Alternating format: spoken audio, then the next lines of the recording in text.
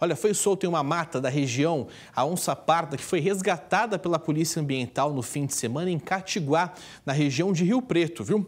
Segundo a polícia, o animal adulto estava preso em um cabo de aço em uma armadilha. Está observando aí todo o trabalho que foi feito. A ação teve o apoio de veterinários do Zoológico de Rio Preto que sedaram o bicho. A onça foi levada para o zoológico, passou por exames e foi liberada pela polícia no dia seguinte. O animal passa bem, viu? A polícia suspeita de que a armadilha foi feita para capturar javalis. Ninguém foi detido. E com essas imagens eu me despeço de você. Tá chegando o SBT Esporte. Valeu demais pela sua companhia. Uma ótima semana a todos nós. Saúde paz interior. Boa tarde.